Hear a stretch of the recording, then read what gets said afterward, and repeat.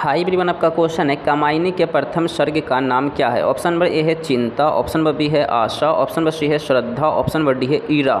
तो आपके इस क्वेश्चन को option number A correct answer हो जाएगा चिंता। So thank you like share and subscribe so thank you